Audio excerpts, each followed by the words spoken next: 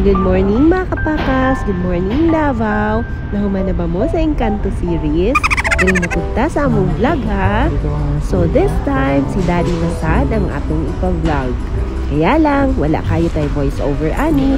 Kaya go ang video para makita na ako kung kabalo na gyud siya mag-vlog. This time, si Daddy lang mag-isa.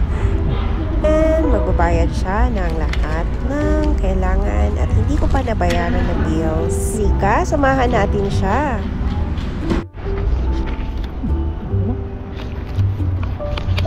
Chip, thank you. Kaway-kaway mo na, Chip. Alright. So, nag-deposit na. Alright. So now, I'm going to SSS.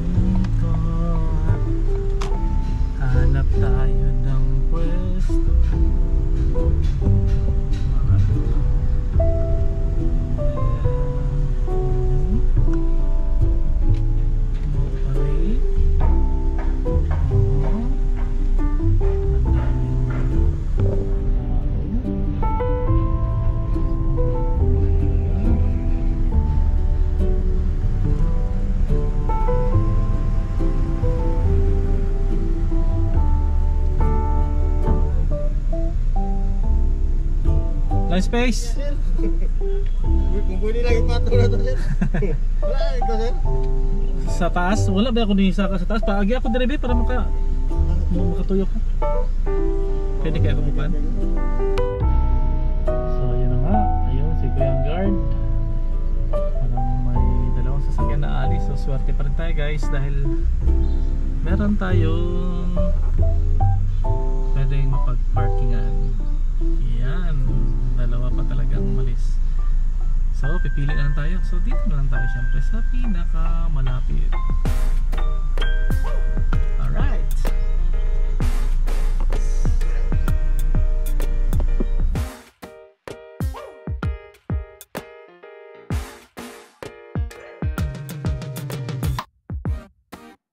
I will not change my mind. Your headstrong forward. But this time around, I'm taking my time, don't push me.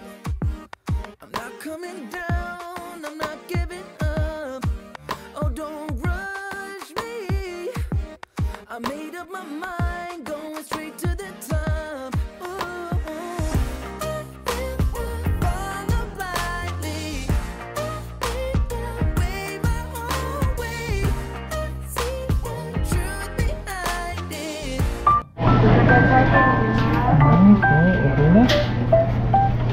Tapos na sa SSS, sa Maybank, so ngayon sa Roxy.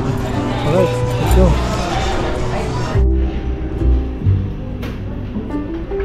Itong, ito yung bibili natin sa Roxy.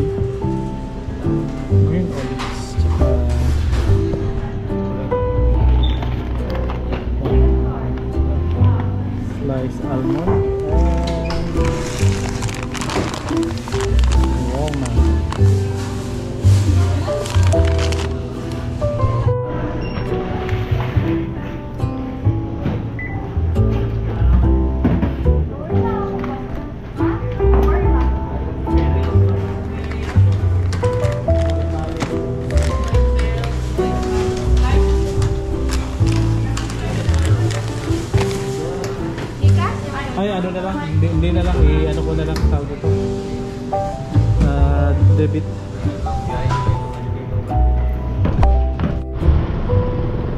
Frankie okay na guys.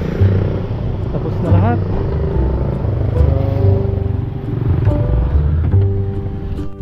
Tapos na ang pagbabayad natin ng kailangan bayaran syempre.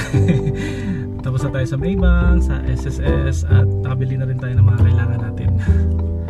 So go home.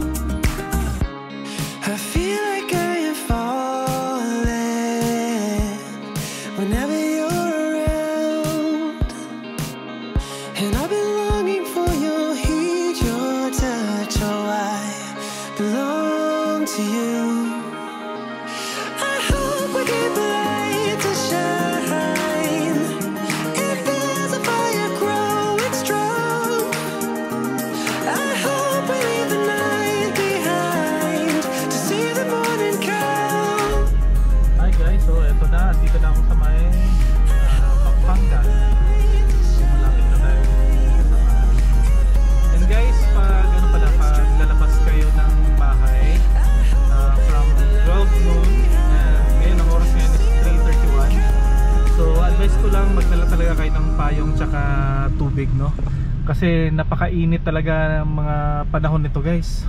Itong uh, month of May napansin ko lang talagang sobrang init talaga pagkadating ng noon time hanggang hapon. So ang temperature ngayon sa labas is 39 degrees. So guys yun lang talaga yung advice ko sa inyo. Magdala ng payong and syempre ng tubig. Okay yun lang guys. Bye.